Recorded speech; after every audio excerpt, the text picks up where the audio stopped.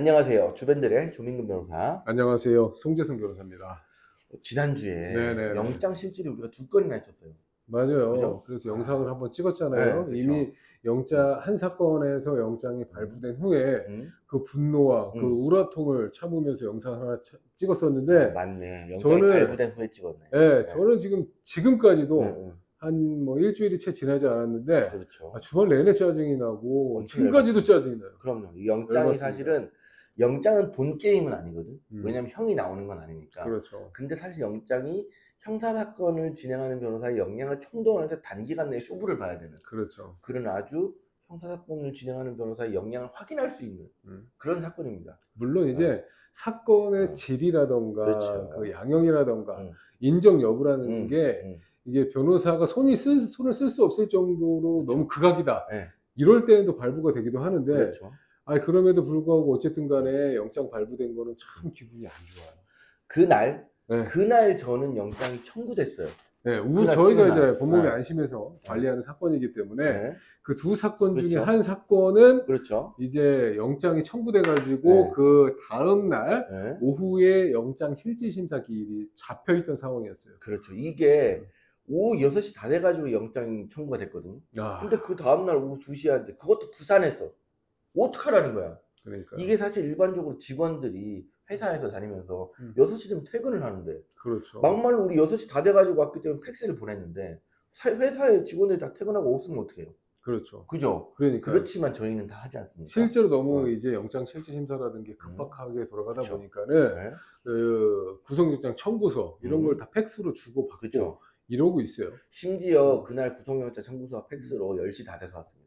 아, 네. 저는 이제 왜냐하면 저는 아, 그 다음 날에 이제 의견서를 빡세게 써가지고 부산에 내려가야 되기 때문에 시- 쉽게 말해서 그때부터는 밤 3개로 작정을 했죠. 음. 그래가지고 기다렸는데 10시 다 돼가지고 영장 청구서가 왔어요. 네네. 법원에서. 그 법원에서 아니 너무한 거 아니냐. 음. 이, 이 다음 날 오후 2시인데 나 지금 서울에 있는데 음.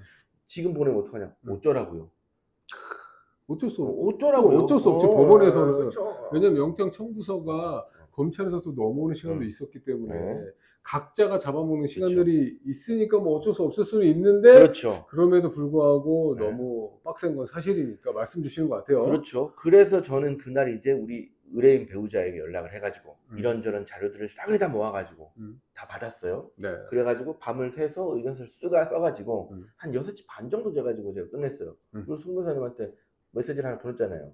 그러니까 그러고 왜 나서 나한테 메시지를 왜 보내는 거야? 그날 뭐 이 얘기할 게 있었어요. 그래서 보내고 농담이고. 저는 부산으로 출발을 했죠. 네네. 그리고 이제 오후 2시에 영장 들어갔는데 간단하게 잠깐 영장 실질 심사의 그 리얼리티를 음. 살린 네. 이야기 전에 네. 그 범죄 사실에 대해서 궁금해하실 수 있을 것 같아요. 이게 요즘에 그 부분에 이야기할 수 있는 범위 내에서만 뭐 짤막하게. 기본적인 개요를 말씀드리면 음. 요즘에 이제 hold'em, 네. 홀덤이라는 그 대회를 많이 하거든요. 어, 홀덤 카페들이 굉장히 많아요. 홀덤 펍도 많고 네. 근데 그 홀덤 펍에서 연합으로 해가지고 음. 거기서 이제 상위권 성적을 차지하면 음. 뭐 시드권이나 이런 것들을 획득해가지고 대회에 참가할 수 있고 뭐 이런 게 있습니다. 음. 근데 이제 이런 것들을 기존에는 음. 뭐 특별히 처벌하거나 하진 않았는데 음. 이걸 지금 도박죄 특별법으로 해서 강강지능법 위반을 개정을 했어요. 어허. 그래가지고 이걸 처벌하려고 나라에서 이제 의도를 세운 거죠. 음. 근데 사실은 이게 뭐 저희가 영장 실질심사에도 막 적어서 적었고 그런 내용이 있지만 과연 이게 판돈을 가져가는 게 아니라 음. 상금을 따고 그다음에 시드권을 그 획득하기 위해서 돈을 주고 뭐 이런 시스템이거든요. 음. 이런 것들이 과연 기존의 도박죄의 개념에 해당하느냐 음. 이런 것들이 굉장히 의문이 있었고 음. 실제로 그런 것들을 영장 실질심사에서도 굉장히 어필을 했었습니다. 음. 그래가지고 결과가 어떻게 됐을까요?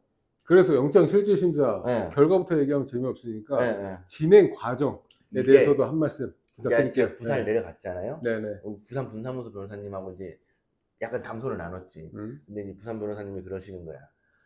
부산에 지금 영장 전담이 두 명이 있는데 음. 일주일씩 돌아간다. 음. 근데 여자분이 빡세다. 음. 오늘 빡세다는 거는 네. 이제 영장 발부 확률이 높다. 여자분이. 어. 많이 나오네요 영장이. 음, 음. 근데 오늘 여자라는 거야. 아니나 다를까 그때 어, 어. 저한테 말씀 주시기를 어, 영장 끝나고서 어, 어.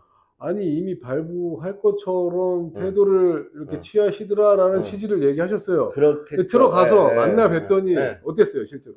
실제로는 음. 근데 이제 뭐 막 본인의 의사나 이런 것들을 많이 표현하진 않고 음. 저희가 하는 얘기를 많이 들어주셨어요. 음. 예, 그런데 저는 사실 정말 너무너무 간절하니까 음. 범죄의 성립 여부부터 시작해가지고 여러 가지 이제 구속 사유들 이런 것들 되게 상세하게 이제 얘기를 했고 음. 그 다음에 이제 경- 영장 청구서에 기재된 내용 중에 사실이 아닌 거라든가 음. 뭐 오해가 있을 수 있는 것들 이런 것들 굉장히 적나라하게 깠습니다. 음. 그래가지고 한 거의 한 30분 했어요 실질심사를. 음. 근데 다른 사람들은 더 빨리 끝났지. 음. 그냥 영장 심사 되게 많았거든. 음. 사람이 한 8명 정도 됐어요. 음.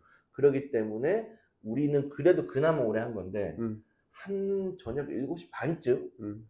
이제 수사관한테 먼저 연락이 왔네. 음. 경찰 수사관한테. 음. 변호사님 고생하셨습니다 이러는 거야. 음. 어, 너하고 나하고 반대인데 뭐 내가 고생하냐. 음. 그러는데 영장이 기각됐다는 거야. 음. 근데 난 또 수사관 말은 믿을 수가 없으니까. 천만다행이지. 뭘 또 그걸 믿을 수가 말은 없어. 못 믿어 나는.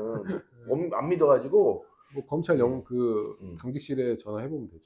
그래서 법원에 연락을 했어요. 음. 그랬더니 기각됐대. 음. 아 다행이구나 음. 했죠. 그러고 나서 한 30분 정도 있다가 모르는 핸드폰으로 전화가 왔네. 음. 목소리를 들어봤던 우리 의뢰인이야. 네. 밖에 나왔어. 음. 영장은 이런 거 아니겠습니까? 그러니까 네? 천만 다행이고 네. 또 그렇게 이제 구속영장이 기각됐을 때 네. 그 쾌감이라는 거는 정말 뭐 이루 말할 수가 없죠. 이게 사실 그 이런 거예요. 음. 뭐 무죄가 나왔다. 음. 내지는 감옥 갈 거를 우려한 의뢰인이 집행유예가 나왔다. 이런 것들은 굉장히 오랜 시간 준비하고 음. 기간도 되게 길어요. 네. 그래서 최종적으로 결론이 딱 나는데 물론 너무 좋지. 좋은 음. 결과가 나오면. 근데 영장이라는 거는 정말 압축판입니다.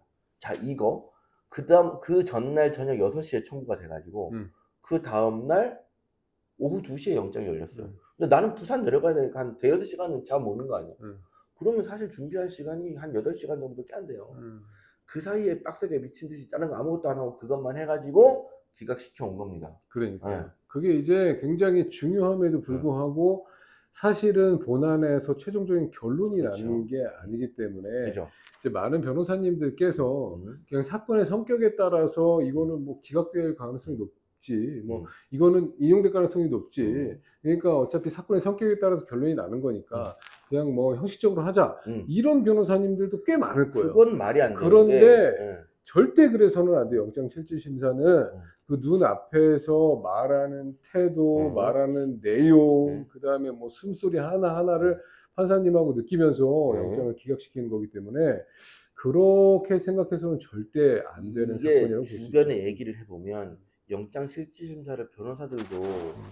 되게 뭐라고 생각하냐면 영장은 나오는 거 아니야? 라고 어. 생각해요. 그렇게 얘기하는 사람 되게 네. 많아요.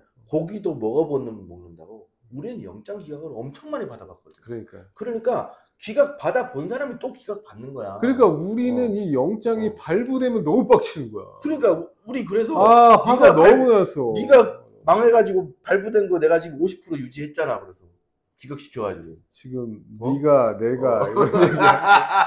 열받아 아니 죽는데 들어가신 분이 들어갔을 뿐이고 네, 우리가 같이 분이. 준비하고 사건을 같이 처리하는 이제 네. 통일성 있는 법무법인이기 때문에 네가 들어갔잖아. 그래서 네가 들어갔는데 아. 발부됐잖아. 내가 들어가니까 기각이 되잖아. 좋아해라. 네, 그래서 절반 유지했잖아요. 그래서 우리는 50% 이하의 확률을 계속 유지를 하고 있다. 50%. 네. 아니 사실 그보다 더 낫지. 사실. 30% 돼요. 음, 사실 어쨌든 이게- 더 많은 음. 영장을 기각시키고 네. 또 확률상 10개가 들어가면은 뭐 한세 진짜 개나 한두 개? 세 개도 좀 많아 사실. 그러니까 두세 개냐. 네. 그 정도 발부되니까 진짜 저희는 음. 굉장히 많은 경우에 발부가 더 적어요. 또 그만큼 음. 빡세게 하니까. 어, 그러니까 근데 이거 정말 그 일반적인 변호사님들 영장을 기각받아 보지 못한 분들 정말 많습니다. 그렇지. 네. 근데 이제 또 어떻게 보면은 굉장히 사건이 경해가지고 그럴 수도 있죠. 또 운 좋게 또 다른 이제 영장 실질 심사 받는 사람들이 이제 중대한 범죄를 저질렀거나 음, 음. 그래가지고 또 상대적으로 비교를 해가지고 영장이 기각되는 경우도 있는데 단순히 그렇게 기각시키려고 저희는 사건 처리하고 있지 않잖아요. 그죠? 음. 근데 사실 그것도 되게 중요한 게 제가 이제 기각된 날 실질심사 갔는데 거기에 이제 피의자들이 여러 명 몰려 있잖아요. 음. 그날 실질심사 하는 사람이 많았어요. 음. 한 여덟 명 됐는데 그러니까. 내가 또 눈치를 봤지. 이게 음. 왜냐면 당일날 나오는 할당량이라는 게 있거든. 응. 그러니까 물론 그게 정해져 있지 않지만 재판장들이 여러 명의 실질심사를 하면서 그래도 한, 한두 명은 살릴 수 있잖아. 그러니까. 그게 내가 돼야 되는데. 영장 실질 심사할 때 그러니까 네. 심사를 받는 사람들이 네. 많으면 많을수록 좋아. 그렇죠. 아, 열심히 안 하는 놈들이 많거든. 눈치를 봤는데 나는 이번에 영장 실질 심사 때 우리만 했어.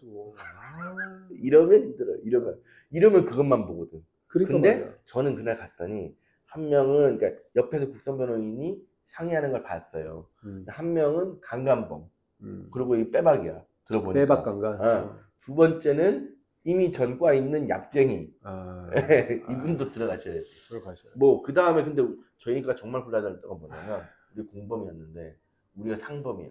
음. 우리가 음. 객관적으로. 음. 그래서 야 속으로 생각했어요.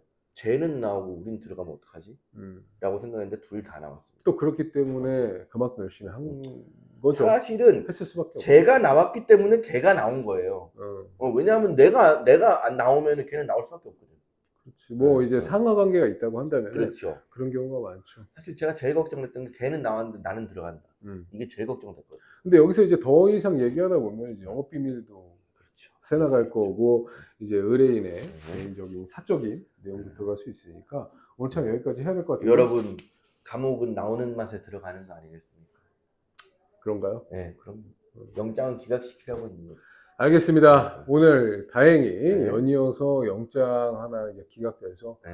의뢰인분께서 네. 편안하게 이제 밖에 계시면서 수사받고 재판까지 받을 수 있다는 사정 여러분께 말씀드리면서 네. 오늘 참 여기까지 할게요. 구독과 좋아요 눌러주세요.